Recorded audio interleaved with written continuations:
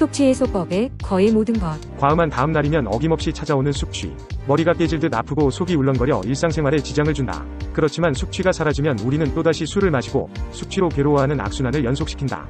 술 마신 다음날 편안하길 바란다면 숙취해소법을 알아둘 필요가 있다. 숙취는 왜 생길까? 술을 마시면 술 속에 포함되어 있던 알코올은 위화장을 통해 흡수돼 혈액을 타고 간으로 옮겨진다.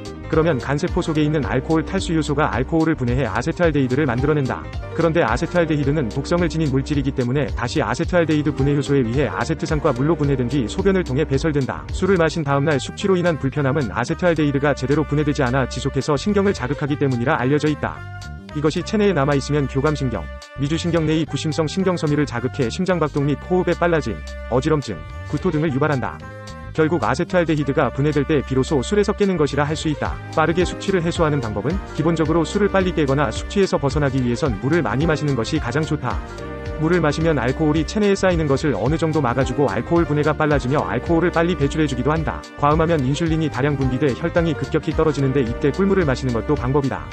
꿀물에는 당분이 포함돼 있어 부족한 혈당을 보충해주고 속이 안 좋을 때 마셔도 속을 안정시켜주는 효과가 있다. 꿀물 외에 우유나 토마토로도 유사한 효과를 얻을 수 있다. 숙취 해소에 좋은 음식은 과음한 다음날 라면, 짬뽕 같은 국물 음식을 찾는 이들이 많다.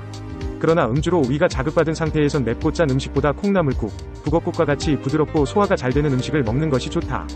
콩나물에는 아스파라긴산과 비타민 C가 다량 함유되어 있는데 이 성분들은 알코올 분해 효소의 생성을 촉진한다.